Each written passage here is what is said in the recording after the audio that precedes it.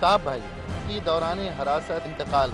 हम इसके लिए मुतालबा करते हैं कि मेडिकल बोर्ड का क्याम अमल में लाया जाए सौ दिन मुकम्मल होने पर मोहम्मद हुसैन भाई जब आज सौ से ज़्यादा पाकिस्तानी शहरियों के लापता होने की बात करने के लिए खड़े हुए, उन्हें तो अपने सौ दिन असम्बली के मनाने की खुशी थी।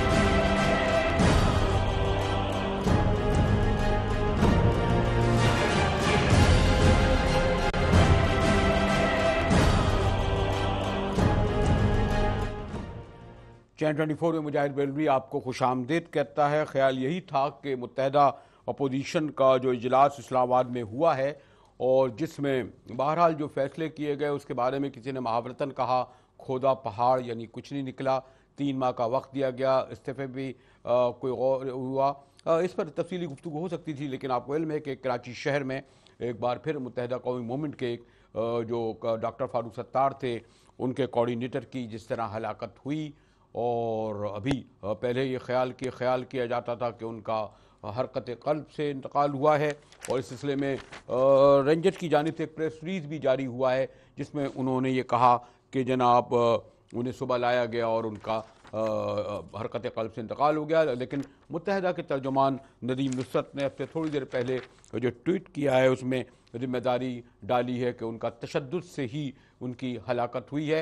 और इस वक्त जब मैं यहाँ गुफ्तु कर रहा हूँ अपने सीनियर जर्नलिस्टों तजियाकारों से जो कराची नहीं कौमी सतह पर नज़र रखते हैं, लेकिन कराची के अप्स एंड डाउन पर इनकी ज़्यादा नज़र है। तमाम उतार चढ़ाव देख चुके हैं। सलाउद्दीन सीनियर जर्नलिस्ट हमारे क्लब के सदर भी रहे हैं, यूनियन जर्नलिस्टों के भी रहनुमा रहे हैं। यहाँ पर तशीफ़ फरमा हैं। आमिर ज़िया, सीनियर जर्नलिस्ट हमारे साथ हैं।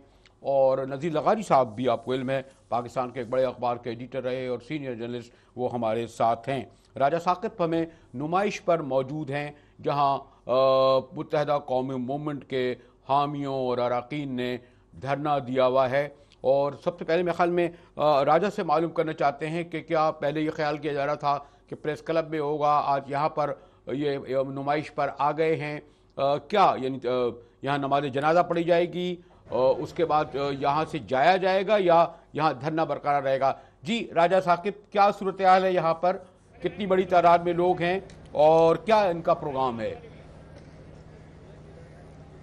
जी, राजा।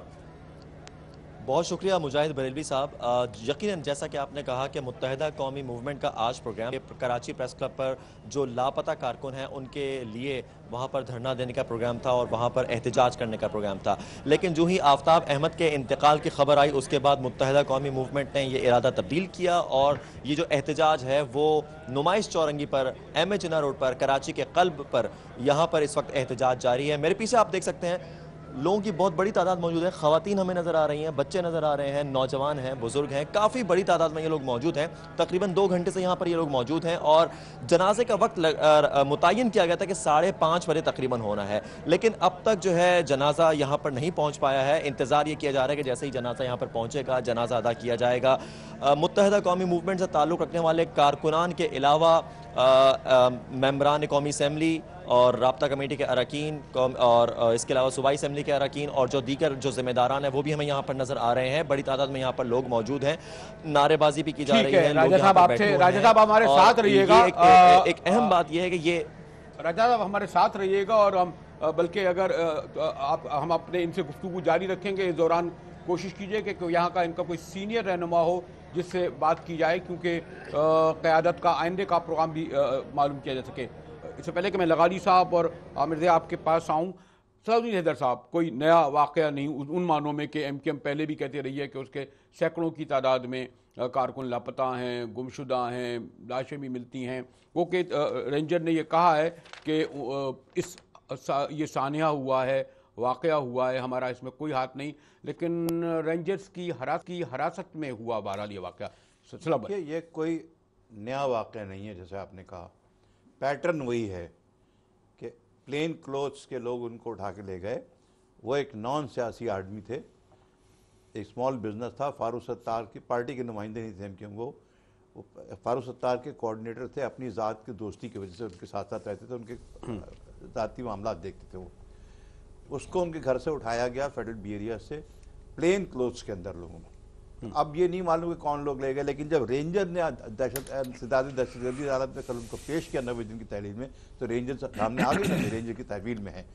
रेंजर्स की तहवील में रात भर में आज दो ही तरीके से मौत हो सकती है। या तो वो दहशत से इतने मर गए हों, खौफजदा हो गए हों, कि बिल्कुल हाथ पैर गए हों। लेकिन जिन लोगों ने उनकी बॉडी देखी, उनका कहना है कि तशद के निशान उनके मौजूद हैं। अब हमने दिन देखी हमें नहीं मालूम। ठीक है। लेकिन रेंजर का ये कहना कि ये हरकतें कल्ब से बंद हो गए। देखिए दो चीज़ें हो सकती है कि अगर एक आदमी जो कि आप शरीफ इंसान है उसको आप उठा के जेल में ले जाएँ वहाँ पे बंद कर दें तो दहशत से हो सकता है वो मर सकता है। भाई दहशत कभी मेरा कसूर क्या है? मासूम इंसान है उसका कोई भी कोई ताल्लुक नहीं है इन चीज़ों से लेकिन ये भी मुमकिन है कि अगर रेंजर्स की ज़िम्मेदारी पड़ती है रेंजर्स की जो फोकस है वो एम क्यू एम पे है इससे हम देना ही नहीं कर सकते। तो रेंजर्स को भी अपने अतवार अतवार बदलने पड़ेंगे और इनको ये, यकीन दहानी करानी पड़ेगी आवाम को कि इनका हाथ नहीं है इसमें। ओके। नजीर लगाई साहब, एक तो आपको इल्म है कि इस सिलसिले में गो के ये कहा जाता रहा कि कराची में जारी ऑपरेशन जो है लगाली साहब, उसके कप्तान वज़ीर आला ही हैं। और अब एम के एम ने पहले भी कहते रहे कि वो एक बेबस कप्तान हैं। ये वाक़, यानी अब इस वक्त भी आपने, आपको इल्म है कि खुद हुकूमत के वज़ीर मुशीर पकड़े गए। हो सकता है उन पर करप्शन जो उन्होंने की हो, दुरुस्त की हो। लेकिन अमलन तो फिर ऐसा नहीं लगता ना कि सिंध हुकूमत की कोई रिट मौजूद है, चाहे लोगों को उठाया जाए, चाहे वो पकड़े जाएँ हती कि आपने डॉक्टर आसिम को भी, बहरहाल नौ माह से ज़्यादा हो गए, साबित तो अभी तक उनका नहीं हुआ, और बाकी भी लोग हैं। तो ये जो वाक़ सानिया हुआ है, इसमें अभी तक हुकूमत खामोश है। यानी कोई उनका रद्दमल नहीं आया। मैं कोशिश कर रहा हूँ कि इंफॉर्मेशन मिनिस्टर या उनके किसी और तर्जमान से बात करूँ। हो सकता है वो मजम्मत ही करें, लेकिन हुकूमत तो उनकी है ना पीपल्स पार्टी की है ना, लगाली साहब। ये आप भी जानते हैं और हम भी जानते हैं। हुकूमत का कितना दायरा अख्तियार है, लेकिन बहरहाल अगर हुकूमत में आप बैठे हैं तो फिर आप अपनी ज़िम्मेदारी कबूल करें या कह दें कि जनाब हम कुछ नहीं कर सकते, एक तरफ़ हो जाएँ, दो दो सूरतें हो सकती हैं। और फिर ये हुकूमत ने ही तो कानून कानून साजी की थी। यानी ये ये जो ये जो कानून साजी हुई है, वो सबकी मर्ज़ी से हुई है कि जनाब किसी शख्स को आप कितनी देर के लिए, यानी नबे दिनों के लिए अगर किसी हिरासत में दे रहे हैं तो हुकूमत की ही कानून साजी थी क्योंकि ये कानून साजी किसी जमात ने या फोर्स ने नहीं की थी। रेंजर्स ने खुद तो कानून नहीं बनाया, ना ना ना फौज ने खुद कानून बनाया, ना ना पुलिस ने बनाया। कानून तो बहरहाल हमारे कानून साज इदारों ने बनाया।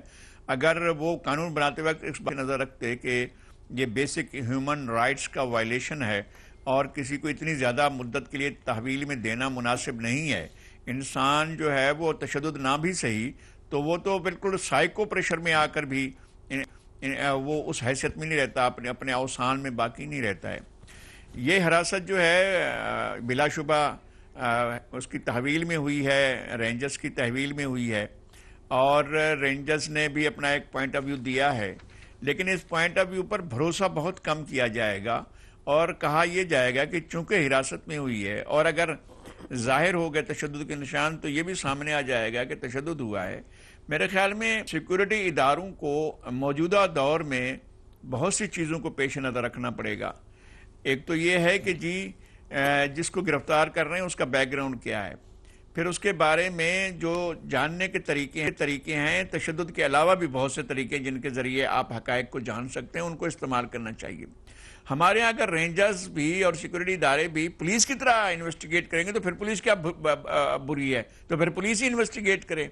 अगर किसी सेल में जाकर वो करनी है और अगर कहीं तशद शामिल करना है इस इस मामले में पूरे इन्वेस्टिगेशन में तो भी देखना चाहिए कि क्या क्या क्या इस तरह का तशद जानलेवा तो नहीं हो सकता है। मैं तशद तो कि, किसी शक्ल को भी मैं नहीं समझता हूँ कि वो जायज़ हो सकती है। ओके साहब आप लगाई साहब, यहाँ तक आए क्योंकि एक, जरा पहले स्टेप में जरा मुझे ब्रेक की तरफ़ तो जाना पड़ेगा आमिर जिया सलाउद्दीन हैदर साहब लगारी साहब बड़े सीनियर लोग हैं और सवाल यही उठता है कि ये आज से नहीं हो रहा। बेशुमार लोग जो हैं, वो नब्बे दिन बल्कि 180 दिन बल्कि ये तो फिर अदालतें कहाँ हैं? और आप खैर में अब करप्शन का भी ज़िक्र करें तो कहते हैं जी, चीफ जस्टिस से कहो, कमीशन कायम करें। यानी ये तो लोगों को उठाना चले, आप नब्बे दिन रखें। पहले तो अव्वल तो ये भी लगाई साहब दुरुस्त कह रहे थे कि खुद हमारी इलेक्टेड गवर्नमेंट खुद हमारी पार्लियामेंट ने इख्तियार दे दिया कि जनाब आप अपने पास रखें। लेकिन नब्बे दिन में भी जब किसी का सबूत ना मिले, बेशुमार मैं नाम गिना सकता हूँ, तफ्तीश भी हो रही है इन्वेस्टिगेशन भी हो रहा है, लेकिन ये जो सानिया और वाक़ हुआ है, इसमें तो एक बार फिर मुतहदा जो पुरमन अब बड़ी हद तक, अब एहतजाज करने लगी थी उसको तो जी, आमिर दया। मुझे सब दो तीन बातें बहुत हमें गौर करने की हैं। पहली बात ये कि ये रेंजर्स का भी एक इम्तहान है। 2013 सितंबर से जो उन्होंने ऑपरेशन शुरू किया, उसने बड़ी हद तक कराची में अमन ओमान की सूरत हाल को बेहतर किया। लेकिन अगर इस कस्म के वाकयात होते हैं जिसमें मारवाए अदालत कत्ल का इल्ज़ाम लगे तो ये फिर रेंजर्स को भी सेल्फ सेल्फ क्रिटिकल होकर खुद तनकीदी करनी चाहिए कि क्या वजह हुई। अब तक एम क्यू एम के जो एम क्यू एम के जराए हैं, उनका कहना है कि छप्पन के करीब जब से ऑपरेशन शुरू हुआ है छप्पन के करीब मारवाए अदालत कत्ल हो चुके हैं। और उनका कहना है कि 170 से ज़्यादा जो एम क्यू एम के कारकुन हैं, वो लापता हैं। अच्छा एक बहुत बड़ा नंबर है ये, बहुत बड़ा आदाद शुमार है। एक सत्तर लोगों का गुमशुदा हो जाना, उनका किसी अदालत में पेश ना होना। तो मेरे ख्याल में इस ऑपरेशन को ट्रैक पे रखने के लिए, इसके मजबत नतज को सामने लाने के लिए भी रेंजर्स की ज़िम्मेदारी है कि वो इस कस्म के जहाँ पे इबाम है, लोगों को शक शुबा हो रहा है, सवाल के निशान है उसको दूर करे।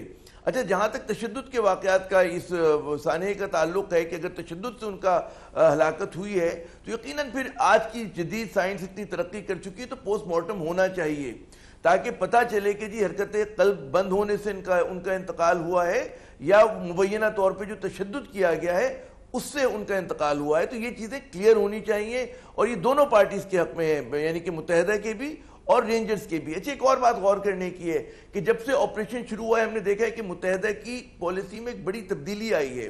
एक ज़माना ये होता था कि मुतहदा के लोग कन्फ्रंट करते थे। अब हो सकता है कि ऑपरेशन की वजह से या बदले हुए हालात की वजह से तो कम अज़ कम कोई पुरतशद रजिस्टेंस मुतहदा की तरफ़ से नहीं आ रहा है।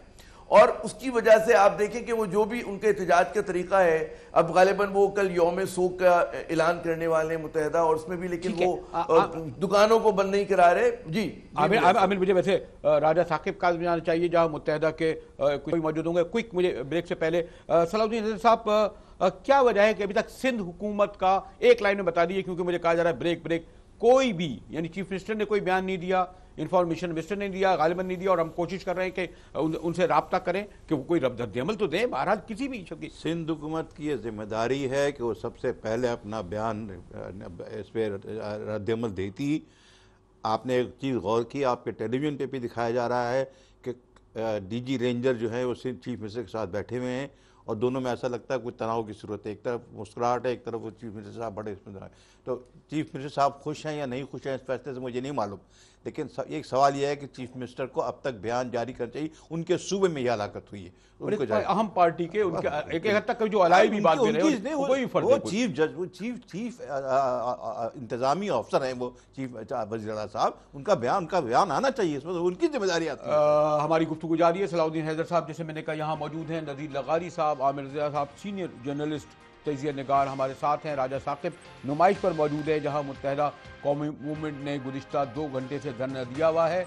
और मैंने आपसे कहा ना कि हमारा ख्याल था कि जो पनामा लीग के हवाले से जो अपोजिशन का इतना बड़ा इजलास हो रहा है अ, उस पर एक कोई बहुत बड़ी खबर बनेगी और हम उस पर गुफ्तू कर होंगे। लेकिन कराची में जैसे कि आपको इल्म है कि मुतहदा के एक कारकुन की और ख़ास तौर पर वो डॉक्टर फारूक सत्तार से बहुत करीब थे। सलाउद्दीन हैदर कह रहे थे एक यानी कोई बहुत बैकग्राउंड उनका ऐसा नहीं था। नॉन पार्टी एलेंट थे। उनकी इस तरह हलाकत हुई और अब तक सिंध हुकूमत की उस पर खामोशी यकीन उसे मुजरमाना खामोशी ही करार दिया जाएगा। हमारे साथ रहिएगा। मिलते हैं एक ब्रेक के बाद।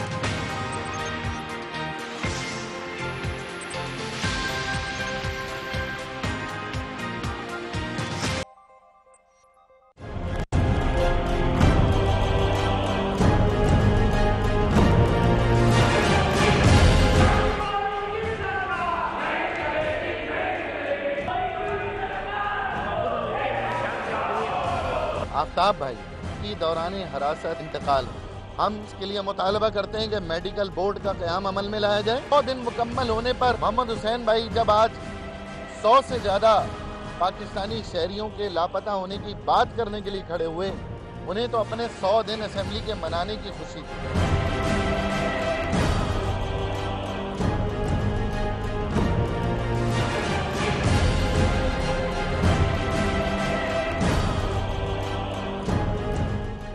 सन ट्वेंटी फोर में मुजाहिद बिलवी एक बार फिर आपको खुश आमदेद करता है और आप देख रहे होंगे इस झलकियों से कि इस वक्त मुतहदा कौम मूवमेंट के कारकुन बहुत बड़ी तादाद में अपने हामियों के साथ जो डेड बॉडी यानी उसका नमाज़ जनाजा पढ़ाने के लिए मौजूद हैं, जहाँ हमारे नुमाइंदा राजा साकिब मौजूद हैं, जिनके साथ मुतहदा कौमी मूवमेंट के गुलफराज खटक रबता कमेटी के रुकन मौजूद हैं।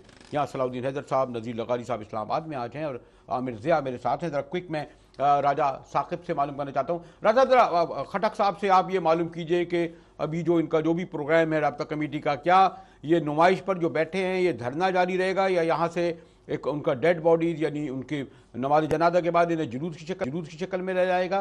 क्या प्रोग्राम है ये? ज़रा पूछें हो सकता है आवाज़ आ रही हो। जी, जी। राजा साहब। जी राजा साहब। जी जी बरेली साहब इस वक्त जो यहाँ पर सूरत हाल ये है कि जनाजा कुछ ही देर में यहाँ पर पहुंचेगा और यहाँ पर जनाजा अदा किया जाएगा। हमारे साथ मौजूद हैं माहिर कानून भी हैं और ब्राप्ता कमेटी के रुकन भी हैं गुलफराज खटक साहब गुलफराज खटक साहब आप लोगों का क्या प्रोग्राम है जनाजा होगा उसके बाद क्या प्रोग्राम जैसे आपके इल्म में है कि ये इंतहाई बरबरीत की वो मिसाल कायम कर की गई है कि किसी भी महजब दुनिया में इसका तस्वुर भी नहीं किया जा सकता है। पिछले तीन सालों में एम के निशाना बनाया गया है और एम के पाँच हज़ार से ज़्यादा बेगुनाह कारकुनों को गिरफ़्तार किया गया। साढ़े तीन हज़ार से ज़्यादा बेगुनाह कारकुनों पर झूठे लघु मुकदमात बनाकर उनके पाबंदे सलासल किया गया। आज भी 2000 के लगभग कारकुनान पाबंदे सलासल है।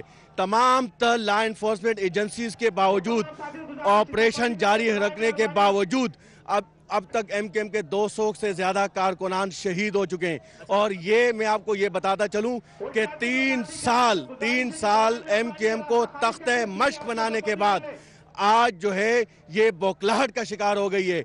ये आफ्ताब भाई जो है पिछले 16 साल से डॉक्टर फारूक डॉक्टर फारूक सत्तार भाई के साथ कोऑर्डिनेटर के तौर पर काम कर रहे थे। फारूक सत्तार भाई इंतहाई सीनियर पार्लियामेंटेरियन है। एम के एम के सीनियर डिप्टी कन्वीनर है और उसकी 40 साल सियासी खदमात है। तो क्या 16 साल से उसके साथ एक जराइम पेशा शख्स जो है, वो अपनी ज़िम्मेदारी सर अंजाम दे रहा था? ये एम के एम की आला क्यादत को पैगाम पहुंचाना था कि तीन साल के बाद जब हम एम के एम को एलिमिनेट करने में नाकामयाब हो गए तो अब हम एम के एम की क्यादत को जो है, वो टारगेट करेंगे। तो ये एक बहुत खतरनाक सूरत हाल है ठीक है। राजा साहब इनका गुलफराज का हमारे पास पूरा पॉइंट ऑफ़ व्यू आ गया। लगाई साहब ये जो एक राजा साहब आप हमारे साथ रहिएगा और हम इंतज़ार करें इंतज़ार करेंगे और आपको दोबारा आपके पास आएँगे खास तौर पर जब ये उनकी नमाज़ जनादा हो रही होगी और उनको तस्वीर होगी। कहते हैं कि जी मुझे बता रहे हैं राजा साहब के उन आफ्ताब अहमद की डेड बॉडी आ गई है और उसकी यकीन होगी लगारी साहब, आपने हम गुलफराज खटक का मौकफ सुना और यकीनन उनकी जो जज्बात अपनी जगह थे। लेकिन मुझे फिर वही बात हैरत है जिसका सलाउद्दीन हैदर साहब इजहार कर रहे थे। एक इलेक्टेड सूबाई असम्बली और पीपल्स पार्टी जो ह्यूमन राइट्स के बड़े दावे करती है, जिसकी यहाँ हुकूमत है और जो अपने मामला के सिलसिले में बड़े हसास होते हैं, यानी तो वो इस पे बहरहाल मैंने जैसे कहा ना कि इस वक्त सबसे ज़्यादा इस सूरत हाल से नुकसान तो पीपल पार्टी को पहुंचेगा ना। उनकी हुकूमत है ना जनाब, और उनका कोई वज़ीर, मुशीर ना यहाँ मौजूद है, ना उसका कोई रद्दमल आए। लगारी साहब? जी हाँ ये अहम मामला है, और जो दिलफराज साहब, खटक साहब जो बोल रहे हैं, खटक साहब ज़ाहिर एक जज्बाती माहौल है, वो जज्बाती कैफियत में हैं, और जिस तरह से वो बात कर रहे हैं, उससे ज़ाहिर हो रहा है कि वो अपने जज्बात का इजहार कर रहे हैं। जहाँ तक इस मामला ये अभी समझ में नहीं आ रहा है जिस तरह से सलाउद्दीन हैदर साहब कह रहे थे कि जो दो बड़ों की मीटिंग हुई है डीजी रेंजर्स की और चीफ मिनिस्टर की तो उसमें डीजी रेंजर्स तो मुस्करा रहे थे लेकिन सैयद कैम अली शाह जो है उनका चेहरा बुझा बुझा सा था। अब इस बुझे चेहरे के साथ ही अपना कोई ना कोई रद्द अमल दें लेकिन बहरहाल हाँ, ये आप भी मेरे ख्याल में बहुत कमज़ोर हैं मैं भी बहुत कमज़ोर हूँ। ये जो आपके साथ दो हजरात बैठे हैं, ये भी बहुत कमज़ोर हैं। हम असल बात कभी नहीं करते हैं, कभी नहीं पूछते हैं। हम ये रेंजर्स से बात नहीं करते हैं। हमारा चूँकि टारगेट सॉफ्ट है, हम उसको लपेट लेते हैं और पीपल्स पार्टी को कहते हैं, भाई, तुम पहले दो। असल में जो ऑपरेशन है, वो बहरहाल रेंजर्स ने किया है और उनकी गिरफ्तारी रेंजर्स ने की है। वो रेंजर्स की तहवील में थे। रेंजर्स के, वो थे रेंजर्स को इसके बारे में अपना पॉइंट ऑफ़ व्यू देना चाहिए और जिस तरह एम के मुतालबा कर रही है, एक बोर्ड होना चाहिए जो इस पर इसका तहकीकात करे कि जो मौत की वजूहत हैं वो क्या हैं किस तरह से इंतकाल हुआ है और किस तरह से जो है वो ए, एक रात भर जो है वो हुआ और सुबह उसको अस्पताल में ले गया उसके असल असबाब को सामने आना चाहिए। हम बहुत सी चीज़ों को छोड़कर बहुत से हम अस्पताल से भी ये करते हैं चूँकि अस्पताल के पास वो रहा है और अब तक जो है मेरा नहीं ख्याल है कि डेड बॉडी हवाले की गई है नहीं की गई है। पिछले है जो है सुबह छह बजे थे अगर वो छह बजे मान डेड बॉडी हाँ हवाले मैं ये कह रहा हूँ कि अगर जी जी। जी जी सुबह सुबह चार बजे अगर वो लाया गया उनको और छः बजे उनके का इंतकाल हुआ या पौने छः बजे इंतकाल हुआ है और उसके बाद से अब तक तो लगभग तेरह घंटे बारह तेरह घंटे बनते हैं वो अस्पताल में रहें तो अस्पताल की इंतजामिया पूरी वो करे। अब तक अस्पताल वाले जो है, हाथ पर हाथ धर कर तो नहीं बैठे रहे हैं। उनके पास बहरल वो डेड बॉडी भी मौजूद थी। और डेड बॉडी के अंदर अगर कोई तशद के निशानात हैं, मैं ये कहता हूँ कि तशद किसी सूरत में जायज़ नहीं है ना। ये कोई बात ही नहीं है कि आप इंसान के ऊपर तशद करें। अच्छा ठीक है, वो मुजरिम है। अब तो उसके लिए कोर्ट ऑफ़ लॉ मौजूद है। आप अपना केस मुकम्मल करें, एविडेंसेस मुकम्मल करें। अगर तशद के ज़रिए ही चीज़ें मालूम करनी है तो ये तरीका फरसुदा हो चुका है। ये अठारहवीं और उन्नीसवीं सदी में तो ये चीज़ें चल अच्छा, सकती थी। न बीसवीं सदी भी में ने भी हमने भुगत लिया। इक्कीसवीं सदी में हमें कब कुछ सॉफ्ट इन्वेस्टिगेशन होनी चाहिए। इन्वेस्टिंग आपको पता है कि आदमी की दो सूरतें हो सकती हैं। या तो मुजरिम है या वो मासूम है। अगर एक इस शक को अगर आप जहन में नहीं रखेंगे कि आदमी मासूम भी हो सकता है और उसके साथ होने वाला तशद बाद में जो है वो आपके लिए अफसोस का और शर्मिंदगी का और निदामत का बायस बने तो बेहतर ये है कि आप वो तरीके अख्तियार अख्तियार करें जिसमें जान जाने का खौफ ना हो। किसी भी इंसान की जान जो है वो कीमती होती है। जान जाने का खौफ ना हो। ये बहरहाल पीपल्स पार्टी की हुकूमत को इस लगाई वर्जन के साथ आना चाहिए कि हुआ क्या है। लगाई साहब आपने बिल्कुल दुरुस्त कहा कि हम चीफ मिनिस्टर को या पील पार्टी की हुकूमत को जो उसको टारगेट कर रहे हैं। असल में जो जिम्मेदार हैं लेकिन आपको इल्म है कि अगर हुकूमत इतनी बेबस है और लग भी रही है ना, देखें, उनके बड़े बड़े लोग पकड़े जा रहे हैं। डॉक्टर आसिमी जैसा का केस तो एक बड़ा बड़ा एग्ज़ाम्पल बन गया, बड़ा मिसालिया है। और भी बहुत सारे केस हैं ना पता वो बेचारे शोएब शेख को पता नहीं उनकी जहाँ से बोल जहाँ से बोल बंद कर दिया गया बल्कि उनकी पता नहीं बोल बोल मैं खैर लफ्ज़ इस्तेमाल नहीं करना क्या कर दिया गया। मुझे मैं चाह रहा था कि सलाउद्दीन हैदर साहब उसमें- तो- अब वो मैं उस बात करूँगा लेकिन आमिर ज़िया और मैं सलाउद्दीन हैदर के पास आने पा रहा था लेकिन फिर मुझे कहा जा रहा है एक मैं मुख्तर सा ब्रेक ले लूँ फिर मैं आप ज़्यादा तफसील से गुफ्तु कर सकूँगा। हमारे साथ रहिएगा।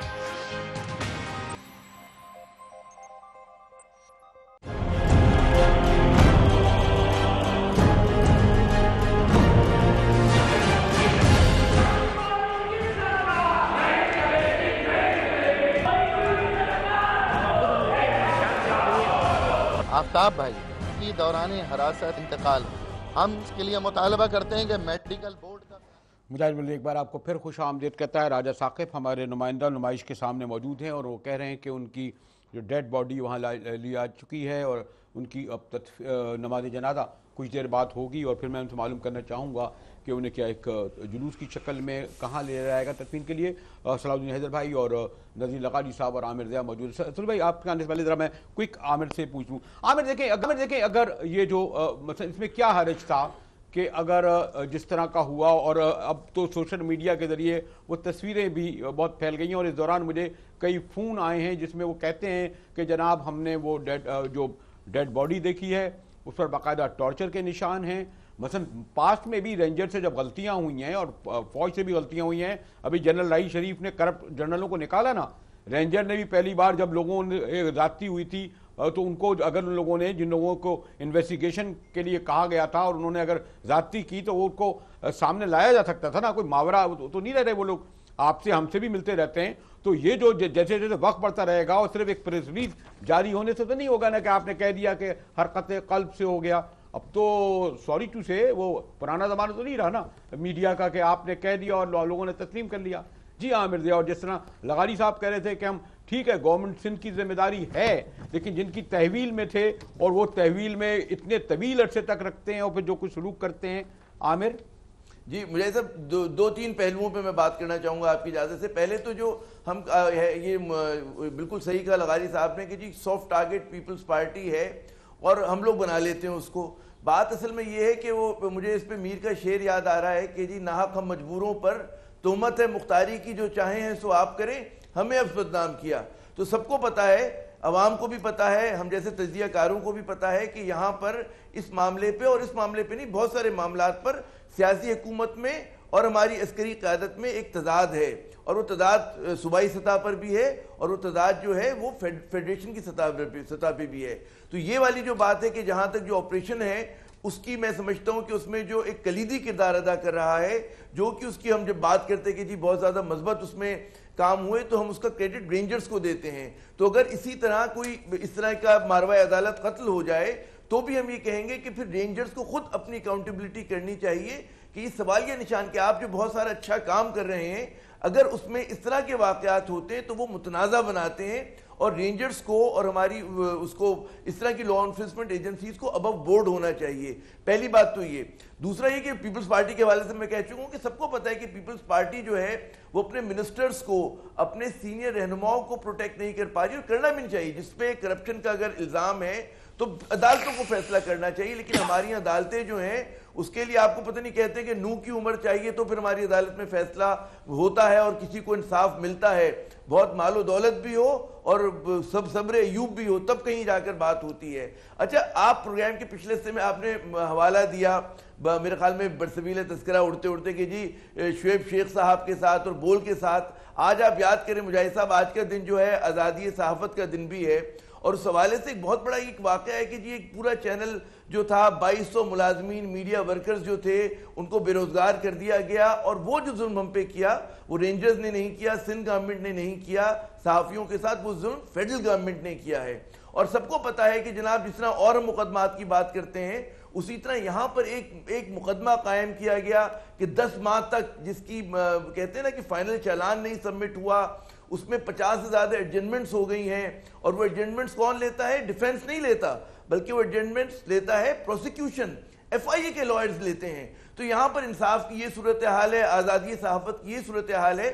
हम जैसे लोगों को, हम जो सहाफ़ी अपने आप को कहते हैं पब्लिक ओपिनियन लीडर्स कहते हैं, हमारी दरख्वास्त होगी उन लोगों से जो जो इनके पास ताकत है, हुकूमत में है कि रियासत का काम ये होता है कि अपने तजादात को हल करे। वो ये ना करे कि मुख्तलिफ़ ग्रोहों को कहीं पर सहाफ़ियों को आपने एक सेक्शन ऑफ़ गवर्नमेंट है फेडरल गवर्नमेंट वो सहाफ़ियों के पीछे पड़ गई। कोई है कि जी वो कहते हैं कि जी खुदा आपका भला करे एमक्यूएम के लोग शाकी हैं कि जी उन पे ये हो गया। आमिर, आमिर लेकिन एक बात है। ना आमिर एक तो बात है ना। वो मसाइल हल होने चाहिए। हमारी बहुत ज़्यादा आप देखिए पनामा लीग से लेकर इस मुल्क में अबतरी अबतरी हर जगह एक लोग क्राइसिस बुरान का शिकार है। आमिर लेकिन फिर सलाउद्दीन भाई आप बड़े सीनियर सीनियर जर्नलिस्ट हैं। अगर ये कहते हैं कि सॉरी टू से कि अगर नदी लगा रही और हमारे ख्याल है कि सॉफ्ट टारगेट गवर्नमेंट फिर इनको हुकूमत रखने का भी तो शौक है ना। ये वजी अला हाउस जैसे बड़े जगह भी तो रहते हैं गाड़ियों का फ्लीट भी तो रखते हैं आ, उसके तमाम समराज से भी तो मुस्तफ़ होते हैं आ, उनके मुशीरों वजीरों की एक फ़ौज भी तो होती है। तो आप इकतदार इसलिए फिर रखते हैं ना अगर आपके फिर अगर प्रिंसिपल पार्टी हैं आप उसूली जमात नज़रियाती जमात शहीद भुट्टोज की पार्टी हैं तो सबूत भी तो फराम करें कि आवाज़ उठाएँ आप। तो फिर आप अगर ये इसलिए हम कहते हैं कि जी वो जो रेंजर और फौज उनको तो हम सारी ज़िंदगी हम लोग हमारा जो हमारी राय है लगारी साहब या आप सबकी वो तो बात है। लेकिन इलेक्टेड और वो भी पीर पार्टी के बारे में हम इसलिए कहते हैं कि उनका अगर रद्दमल ना आए तो यही समझा जाएगा कि मसलियत कोशी का शिकार हो जाते हैं। इवन उनके मिनिस्टर एक एक, एक सौ अस्सी दिन से पता नहीं दो सौ दिन से अंदर पड़े हुए हैं। देखिए सीधी सी बात यह है कि हम इक्कीसवीं सदी में रह रहे हैं। एक ऐसे ज़माने में रह रहे हैं जो तरक्की पसंद है और आसमान की तरफ़ जा रहा है और बुलंदियों की तरफ़ जा रहा है। हम पाकिस्तान में आज भी तनजुल की तरफ़ मायल है अखलाकी तौर पर आइनी तौर पर कानूनी तौर पर यह बड़ा अलमिया है इस मुल्क का। प्रॉब्लम यह है कि आपने बाईसवीं तरमीम लाई फौजी अदालतों का उसका अख्तियार दिया, जिस पर रजा रब्बानी रो पड़े। ठीक है? लेकिन उसके बावजूद उस ओहदे में बैठे रहे। ठीक है। हाँ, चेयरमैन बन गए चलो ठीक है। बारह अपना डॉक्यूमेंट किया उन्होंने कहा पार्टी की खातर में तख्ती दे रहा हूँ। लेकिन उसका सवाल ये कि हुकूमत को अपने आप जो आपने बात कही है हुकूमत को तरीक़ार बदलना पड़ेगा। आवाम की आवाज़ को लब बैक करना पड़ेगा। इंसानी हकूक़ को रिस्टोर करने पड़ेंगे आपको। नहीं करेंगे तो फिर रोज़ इस किस्म के मसाइल आपके सामने आएँगे जहाँ हुकूमत की बदनामी होगी मुल्क की बदनामी होगी और मुल्क जो है बाहर आपके ऐसा कहेगा कि जैसे इंसानों का मुल्क है जहाँ इंसानी जान का तहफ़ नहीं है इंसानी जान कुर्बान कर दी जाती है ये कोई बनाना रिपब्लिक नहीं है पाकिस्तान है ये हाँ।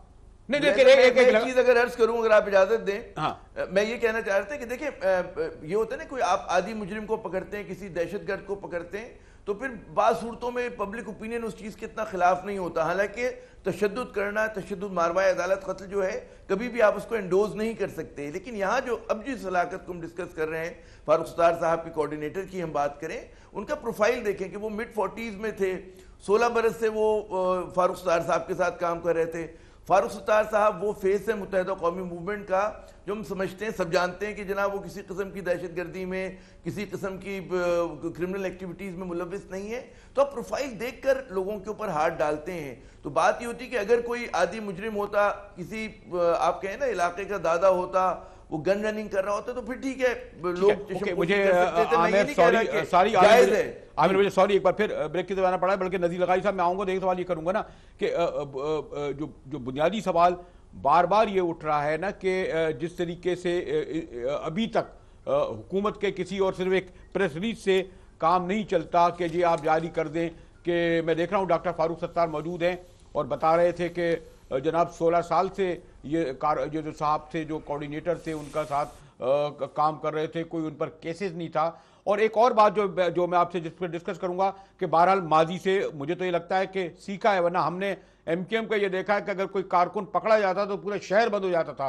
बसों को आगे लगा दी जाती थी। एक चारहाल मुतहदा कौमी मूवमेंट में इस दौरान आई है, क्यों आई है, इस पर भी डिस्कस करेंगे, मगर एक ब्रेक के बाद। हमारे साथ रहिएगा।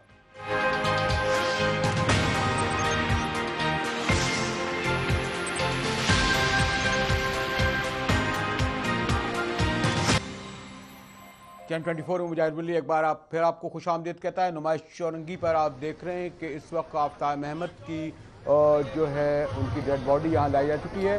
और यहाँ से मैं ज़रा दूर से देख रहा हूँ डॉक्टर फारूक सत्तार ने आफ्ताब अहमद के बेटे को साथ हैं वो उनके पास मौजूद।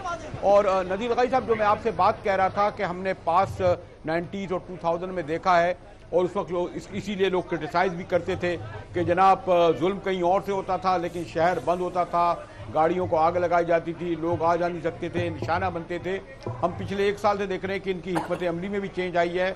अब ये बातें भी सुनने लगे हैं। मीडिया को भी पहले बड़ी इनसे शिकायत होती थी। जी नजीर लगारी साहब।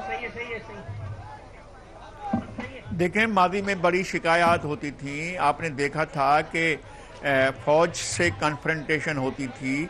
बाकायदा ऐसा हुआ कि फौजी गाड़ियों पर हमले होते थे, ऐसा हुआ कि रेंजर्स की गाड़ियों पर हमले होते थे, ऐसा हुआ कि पुलिस की गाड़ियों पर हमले होते थे, ऐसा हुआ कि कहा जाता था कि एम क्यूम ने फलां पुलिस वाले को या फलां फलां बंदे को जो है निशाना बनाया। इस तरह के चीज़ें सामने आती थी और इल्ज़ाम भी लगाए जाते थे। फिर ये तो होता ही था कि जब एम के हड़ताल की काल देती थी तो पूरा शहर बंद हो जाता था। ऐसा तो हमने भी देखा था कि सैकड़ों गाड़ियाँ जो हैं वो जली हुई होती थी और जल रही होती थी।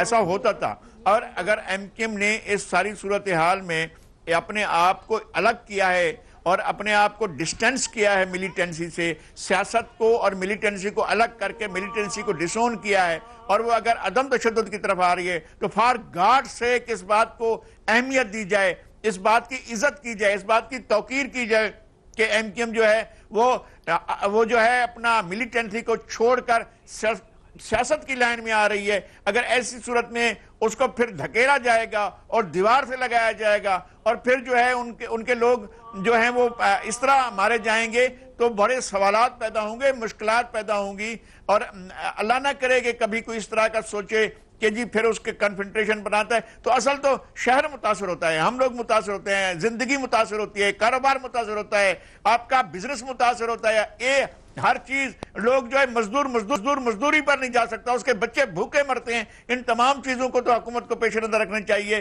सिक्योरिटी इदारों को इस बात को पेश नज़र रखने रेंजर्स का जैसे कह रहे हैं हमारे आमिर रियाज साहब, भाई, इतना बड़ा क्रेडिट है, आपने शहर को अमन दिया है। आपने आपने कमाल कर दिया है, जो नामुमकिन था उसको मुमकिन बनाया आपने तरह के मिलिटेंसी को जो है अपना निशाना बनाया और उनको उनको जाकर पकड़ा है, उनको काबू किया है। और हर तरह की मिलिटेंसी मजहबी मिलिटेंसी और इथनिक मिलिटेंसी सेक्टेरियन मिलिटेंसी और जो है बाहर की मिलिटेंसी हर तरह की मिलिटेंसी का मुकाबला किया टारगेटेड वो किया है, बड़ी खूनरेदी नहीं हुई, बड़ा वाकयात नहीं हुए, आपने बड़ी उससे किए हैं, लेकिन एक वाक्य ने जो है, अगर आपके लिए सवाल खड़े कर दिए तो ये बहुत बड़ा, मैं मैं हमेशा इस बात का कायल रहा हूँ कि रिजवान अख्तर, जनरल रिजवान के और जनरल बिलाल के आने के बाद सूरत बदली है। रेंजर्स का एक किरदार सामने आया अब अगर ऐसे वाकयात होने लगेंगे अ, अ, मतलब ये आपने शहर को तो बचा लिया। एक आदमी का जो है वो आपकी तहवील में जो है उसकी जान गई है तो सवाल खड़े होंगे। इस बात को गुरेज करना चाहिए और इस सूरत को सामने आना चाहिए। कौमें होती हैं। मैं मुझे पता है बिलाल जनरल बिलाल के पास एक दफ़ा मैं गया था। हमारे एक सहाफी के घर पर रेंजर्स के लोग चले गए थे। तो उन्होंने बिल्कुल बगैर किसी कंडी कंडीशन के उन्होंने कहा था मैं माफ़ी माँगता हूँ। हमारे लोग गलत गए थे। हमारे हमारे सईद खबर के घर पर गए थे और नवाब के एडिटर के घर गए थे और उन्होंने कहा मैं, मैं, माफ़ी माँगता हूँ मेरी कोई कंडीशन नहीं है। और और और ये गलत हुआ। हमारे रेंजर्स के लोगों को नहीं जाना जाना चाहिए था। अगर ये हलाकत रेंजर्स की तावील में हुई है कोई बात नहीं वो आ, बात तो बहुत बड़ी है। ये नहीं मैं कहता हूँ कि खत्म हो गया मामला लेकिन उन्हें आकर ये इस बात को एडमिट करना चाहिए और जो जिम्मेदार है उनके खिलाफ कार्रवाई करनी चाहिए। और बात वो हो जाएगी शहर ओके। शहर लोग मान जाएँगे इस बात सलाउद्दीन साहब आप तो काफ़ी करीब भी रहे हैं और मैं देखता हूँ कि बहरहाल अब आप जब गुफ्तू करते हैं आप क्रिटिसाइज भी जहाँ होता है वहाँ करते हैं। ये जो एक बहरहाल एक एम से बहुत सारे लोगों को और ख़ासतौर पर लोग ये समझते थे कि जनाब हम वोट भी देते हैं इनको और, और, और, और सफ़र भी हम करते हैं। उनकी पॉलिसी में चेंज आई है। मतलब अगर ये वाक़ अगर पाँच साल पहले और सात साल पहले होता तो सूरत आज मुख्तलिफ़ होती। तो ये जो चेंज आई है और और मकान मुतहदा ने ये कहा भी है कि अगर उनके दरमियान ऐसे लोग मौजूद हैं जो टारगेट किलर हों या जो लोग भत्ता लेते हों या चंदा लेते हों, उन्होंने पेश भी किया है गालिबा। उन्होंने उन पर एहतजाज भी नहीं किया है, कोर्टों में मुकदमे भी लड़ रहे हैं। जाके हम देखते हैं, वो जमानतें भी लेने लगे तो इस तरह के आपके ख्याल में फिर मेरी समझ से बात है कि जो आपकी जो इदारों और एजेंसियों में बड़े अब तो समझदार बैठे ये कोई जेलम के कोई रंगरूट तो नहीं बैठे हुए ना पुराने जमाने के जिन्हें पता ना हो। यह है कि जैसे लगारी साहब फरमा रहे थे वो बजा बजा फरमा रहे थे कि मुतहदा के की अप्रोच और उनके एटीट्यूड में उनके रवैये में पिछले पाँच छः साल में बहुत बड़ा ज़मीन आसमान का फ़र्क आया है। वो मिलिटेंसी स्ट्राइक हड़ताल ख़त्म करके अब वो पुरसकून एहतजाज पे आ गए हैं। यहाँ तक कि आपने देखा, प्रेस क्लब में पिछले दस रोज़ पहले दो दिन बैठे रहे, फिर वो चीफ मिनिस्टर हाउस गए, वहाँ पे उनको रोका गया, उन्होंने याददाश्त पेश की, कोई मिनिस्टर मिलने नहीं आया उनसे। तो ये हुकूमत की जो बेहिसी है, हुकूमत चला रही हुकूमत को अवाम के हकूक का तहफ़ करने का फ़र्ज़ उसका हक, उसको, उसका फ़र्ज़ है वनीन है वो वो नहीं कर रही है। तो फिर अब अब रेंजर जो है वो भी पाकिस्तान के अवाम की टैक्सों से तनख्वाह मिलती है ना उसको। अगर उसके यहाँ से कोई गलतियाँ हो रही हैं तो डी जी रेंजर को चाहिए किसी कर्नल को, किसी ब्रिगेडर को भेज के उसकी इंक्वायरी कराए कि भाई ये कैसे हो गया है? ये बताओ हमारा है कि नहीं? और इसको इसको शफाफ तरीके से करें पोस्टमार्टम करके दिखा दें कि साहब, ऐसा नहीं है। अगर है तो फिर किसी जो आदमी जिम्मेदार है, उसको सजा दी जाए। ये बिल्कुल गलत चीज़ है। इंसानी जान बहुत मुकदम है और उसको आपको हर हालत में पाकिस्तानी शहरी, उसका इस मुल्क पे हक है। एक आज़ाद मुल्क के आज़ाद शहरी हर शख्स जो इसमें रहता है इस मुल्क में, उसको फ़र्ज़ है उसका कि उसके ऊपर मुकदस की, उसको, उसके तकदस का इख्तियार ख्याल किया जाए। आमिर, मुझे अभी तक नहीं पता, मैं वैसे फॉलो कर रहा हूँ, शायद मुझे बल्कि मैं मालूम भी करना चाह रहा हूँ कि फिर मैं इस पर आऊँगा, भले हमारे लगाई साहब का कहना था और आप लोग कहते हैं कि जी हुकूमत तो बेचारी बेबस, लाचार, शाह साहब के लिए हमारे वाकई शाह साहब हैं। लोग बड़ा उनकी तो कोई, उनको हटा के कुर्सी पे भी कुछ लोग और लोग आके बैठ जाते हैं और बेचारों को एज सेक्रेटरी बिहेव करते रहते हैं। उस पर भी वो बेचारे बड़े मरंजा मर्ज मिलनसार आदमी हैं। लेकिन हम उनके तर्जमानों से जो बहुत ही गरजते और चमकते हैं और इस वक्त आप देखेंगे कि वो टेलीविज़न स्क्रीनों पर पनामा लीक्स पर मियाँ साहब पर पता नहीं क्या क्या कर रहे होंगे या और और इशूज पर कर रहे होंगे। मतलब ये इशू पर मुझे हैरत है जैसे मैंने कहा कि अभी तक मैंने कोई उनका अ, किसी चैनल पर कोई नहीं देखा। अगर बल्कि अगर आया है तो मैं चाहूँगा मेरे अगर पीछे बैठे हैं मुझे बता दें और हम रबते की भी कोशिश करें। तो ये तो आप नहीं कह सकते ना कि जनाब अगर हाँ हम हुकूमत जो है वो इलेक्टेड गवर्नमेंट है उसको वो वो बेचारी है वो लाचार है। मैंने आपसे कहा ना कि बाकी मामला में तो वो लाचार बेबस नहीं है। चार की जगह दो गाड़ी तो नहीं रखते। उन्होंने दो दो तीन बातें इसमें इसमें गौर करने की है। एक तो खैर उसकी लिमिटेशन है पाकिस्तान पीपल्स पार्टी की प्रोविंशियल गवर्नमेंट की कि बहुत सारी चीज़ें इनके बस में नहीं है। अच्छा दूसरी बात यह है कि वो उस पर क्यों इतना जोश दिखाएँ? उनको पता है कि हमें पता है कि पीपल्स पार्टी और मुतहदा का भी कई चीज़ों पे तनाव चल रहा है। लोकल बॉडी ह्यूमन राइट का मसला है ना आमिर मैं- मैं- मैं अर्ज़ कर मतलब हम तो डॉक्टर आसिम के लिए भी तो कहते हैं ना वाई डॉक्टर आसिम और शोएब शेख जैसे आप ज़िक्र कर रहे थे ना अभी तो तो- मैं ये अर्ज़ करूँ मैं मेरी मेरी बात अगर मुकम्मल करने थे देखिए जो एक अमली सियासत होती है उसके तकाजे कुछ और होते हैं। हम आइडियल फॉर्म में यकीनन ह्यूमन राइट्स जो है इंसानी हकूक हमारे लिए मुकदम है बहुत आम है। पीपल्स पार्टी के किसी रहनुमा से कहेंगे वो भी यही कहेंगे। लेकिन जब आप अमली सियासत की बात करो तो कहते हैं जी हमारा तनाव चल रहा है। हम क्यों अपने आप को ओवर कमिट करें? मैं एक सियासी उसकी बात कर रहा हूँ। तनाव के मतलब क्या है? तनाव के मतलब सही या गलत नहीं कह रहे हैं बात को। तनाव के मतलब क्या कि आदमी सूरज हट जाए? ये तो नहीं होता। नहीं, तक न दे, मजम्मत तक न करे। कहाँ है? मुजाहिद साहब असूल की कहाँ बात नहीं, नहीं, फिर ये बात ना, फिर आप- नहीं, अगर तनाव नहीं, नहीं, नहीं, हम हम आइडियलिज्म की बात करें पीपल्स पार्टी अपने आप को क्यों कमिट करे? वो ये कहेगी कि जी ये। मुतहदा है कि रेंजर्स की लड़ाई हम हम अगर बीच नहीं, में नहीं, आते नहीं, नहीं, हम बिला वजह ताब में आते मेरे ख्याल में तो एक बड़ी वजह ये भी हो सकती है जहाँ पर उनका एक सियासी पॉलिटिकल एक्सपीडियंसी जिसको कहते हैं मौका परस्ती कहते हैं सियासत में तो ये वो भी है और उसकी वजह से आप मैं इसको जायज़ करार नहीं दे रहा मैं एक उसकी वजह बता रहा हूँ आपको। कि ये हो सकता है ये इम्कान है हम तजिया करने बैठे हुए ना? हम सही और गलत नहीं कहने बैठे। तो उस तजिए में मैं मेरी राय ये बनती है कि जी एक तो बे, बेदस्तों पाए और दूसरा वो कहते हैं कि भाई हम इस बखेड़े में ना पड़े हमारे ऊपर अपनी मुसीबतें बहुत ज़्यादा हैं हम सिर्फ़ वो चीज़ वो बॉल खेलें जो कि हमारे लिए आसान हो। नवाज़ शरीफ साहब के ऊपर तनकीद करना माहौल बना हुआ है करनी चाहिए और बड़ी अच्छी बात है लोगों ने वो जो फ्रेंडली अपोजिशन पीपल्स पार्टी को कहते थे नहीं कह रहे। बिलावल साहब ने बड़ा जोरदार बयान दिया, नवाज़ शरीफ साहब के इस पूरे पनामा लीक्स के सिलसिले में। तो ज़ाहिर है, उनका अपना तरजीहत है, फोकस है। जी। सीधी सी बात यह है कि हुकूमत सिंध, हुकूमत कर रही है सिंध में। कराची सिंध का हिस्सा है। वहाँ एक इतना अंदोनाक वाक़ हुआ है। हुकूमत सिंध की ज़िम्मेदारी है चाहे वो पीपल पार्टी की हुकूमत हो चाहे किसी और पार्टी की हुकूमत हो। मैं मैं तो उनका मैं आपसे इख्तिलाफ नहीं कर रहा इस बात से। जी। मैं आपकी इस बात से बिल्कुल मुत्तफिक हूँ कि यकीन ज़िम्मेदारी उनकी लेकिन क्या किया जाए कि ना उनके पास इख्तियार पॉलिटिकल ना उनमें आप आमिर। कह रहे ना कमिटमेंट भी नहीं है आप आमिर कह रहे ना मैं उसकी बात कर रहा हूँ। आमिर जो आप ये कह रहे हैं ना कि सियासी तनाव चल रहा है इनके सियासी तनाव तो अलग चीज़ है, वो तो सियासत तो अलग चीज़ है। ये एक ह्यूमन राइट का मामला है, एक एक इंसानी ज़िंदगी का मामला है। सलाउद्दीन साहब, पुरानी बात नहीं है, जब उजैर बलोच को पाकिस्तान पीपल्स पार्टी सपोर्ट करती थी, इसी सियासी तनाव की वजह से जनाब एम क्यू एम के और पीपल्स पार्टी के कारकुन एक दूसरे को हलाक कर, कर रहे होते थे हालाँकि उस वक्त इत्तेहादी भी थे। तो हमें पता है कि अमली सियासत क्या होती है तो हम तो प्रैक्टिकल बात करेंगे। हाँ असूलों की हद तक बिल्कुल मैं आपसे मुत्तफिक हूँ कि हुकूमत सिंध को मजम्मत करनी चाहिए। अगर हमारा अदालत कत्ल हुआ है लेकिन प्रैक्टिकल पॉलिटिक्स की लेकिन मैं कुछ और होती है। अभी मैं लगाई साहब मैं, मैं कंक्लूड करने जा रहा हूँ बल्कि अभी मैंने एक बहुत ही मेरे हमारे सीनियर दोस्त हैं आप सब जानते हैं खैर हमारी मेरी मॉडलिटी तो याद नहीं देती कि मैं ये नाम लूँ उन साहब का कि जो हर मसले में बोलते हैं। और कराची से लेकर थर तक जाते हैं अगर बच्चों की हो जाती है।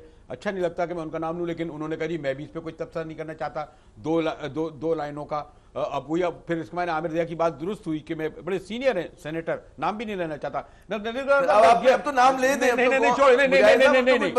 नहीं नहीं। फिर भी नहीं लूँगा नहीं, नहीं, कोई नाम मैं नाम नहीं ले रहा। लेकिन एक अच्छी बात नहीं है। वो एक, एक होती है ये मैं तो नहीं चाहूँगा आमिर दिया। लगारी साहब मैंने जैसे कहा ना अभी मैं नाम भी नहीं लेना चाह रहा अच्छा भी नहीं लग रहा इसलिए कि फिर ये कहते हैं कि जी आपने हमारा पॉइंट ऑफ़ व्यू नहीं लिया और आप यकतरफा हम पर वो करते रहे। जी नजीर लगारी जस्ट कंक्लूडिंग मेरे कहते हैं मेरे पास दो तीन ही मिनट है। जी लगारी साहब। जी मेरा ख्याल है कि हुकूमत सिंध को जिनकी बात आप कह रहे हैं उन साहब की तो ज़िम्मेदारी भी नहीं है कि जवाब दे चुके वो हुकूमत सिंध का हिस्सा नहीं है। मैं मैं उन तक पहुँच गया हूँ और उनको। बड़े और बड़े काम करने हैं और बड़े काम कर रहे हैं मुझे मालूम है उनका। लेकिन ये कि हुकूमत सिंध की ज़िम्मेदारी बनती है, हुकूमत सिंध को आना चाहिए चाहिए, सामने आकर बात करनी चाहिए। लेकिन मैं एक बात और करता हूँ, मुजाहिद, आप आप भी इस बात को जहन में रखें और दूसरे एंकर्स भी। जब अख्तियारात में दो दिन की ताखीर होती है तो आप लोग आसमान सर पर उठा लेते हैं। हर एंकर का बुनियादी मसला ये हो जाता है ओ हो हो हो हो, रेंजर्स को अख्तियारात नहीं मिले रेंजर्स को अख्तियारात नहीं मिले। पूरी वो हो जाती है कि जनाब और पीपल्स पार्टी फिर दीवार से लगी होती है बेचारी इधर उधर देख रही होती है क्या हो गया हम सारे एंकर्स में फंस गए। और अगर ये वाक्य हो गया तो फिर पीपल्स पार्टी सामने आए और कहे कि ये लेकिन मैं ये कहता हूँ कि Peoples Party should come forward उन्हें आना चाहिए अगर ज़िम्मेदारी का तयन करना है कोई इन्वेस्टिगेशन कमेटी बनानी है उन्हें फॉर्म करनी चाहिए और खुद विद इन रेंजर्स को अपनी कमेटी बनानी चाहिए इसको इन्वेस्टिगेट करना चाहिए ये चीज़ सामने आनी चाहिए और इस तरह का रहेगा नहीं जाना चाहिए। एक बच्चा जवानी की उम्र में जो है वो ज़िंदगी से गया है और बड़ा अफसोस है। मैं हुकूमत वक्त का ये और डी रेंजर की भी उतनी ही ज़िम्मेदारी पैदा होती है अगर इल्ज़ाम लगा है उनके ऊपर जिससे अवाम शायद उनके उनके जो जारी हुआ है उनका क्या हरकत कल बंद होने से हुआ है फिर जारी उससे मुतमिन नज़र नहीं आते। तो उनका फा, उनका फ़र्ज़ है कि उसको इंक्वायरी करा के लोगों को सामने कायक पेश करें। मैं बिल्कुल आपसे मुतफिक गुफ्तु हमारी जारी थी और ये मैं जैसे मैंने और कि- इससे रेंजर्स की तोकीर बढ़ेगी उनकी इज़्ज़त बढ़ेगी। बिल्कुल। जनरल बिलाल की क्रेडिबिलिटी बढ़ेगी। अगर वो अपने लोगों को जो जिम्मेदार थे उनको अगर सस्पेंड करके और उनके खिलाफ कार्रवाई करके अगर सामने आएँगे और और, और तमाम चीज़ें सामने लाएँगे तो इससे रेंजर्स की और सिक्योरिटी इदारों की इज़्ज़त बढ़ेगी कि अब जनाब वो इस तरह के हैं कि अगर गलती हो जाए तो उसको तस्लीम भी करते हैं और अपने लोगों को सजा भी देते हैं। इससे उनकी इज़्ज़त बनेगी। आपने दुरुस्त का एक चार लाइन का एक सफ़े का ट्वीट करना या एक सफ़े का प्रेस रिलीज़ भेज देना जिसमें सिर्फ़ ये कह दिया कि जनाब इस तरह ये मेरे ख्याल में नज़ीर लगाली साहब और हमारे आमिर ज़िया और सलाउद्दीन हैदर बड़े सीनियर सीज़न जर्नलिस्ट लोग हैं। इन्होंने तीन दहाइयाँ इस सहाफ़त में गुजारी हैं। बड़ी ज़िम्मेदारी से ये लोग गुफ्तू करते हैं और ये इनका रवैया किसी भी हुक्मरान या हुकूमत के बारे में और या जो भी सिविलियन या फौजी हुकूमत हो, बड़ा रैशनल, हकीकत पसंदाना होता है। मैं इसी पर कंक्लूड करूँगा कि अभी तक देखें बहरहाल एक खुशाइन बात यह है कि एम के एम ने कोई ऐसे रद्दमल का इजहार नहीं किया जिसका जिसका खौफ जो है अब लोगों को होने लगा था। तो इसलिए बिल्कुल बजा तौर पर यह सही वक्त है कि रेंजर्स इस सिलसिले में अपनी पोजिशन वाजे करे। मुजाहिद बेल को इजाज़त दीजिए। कल आपके सामने फिर इसी वक्त हाजिर होंगे।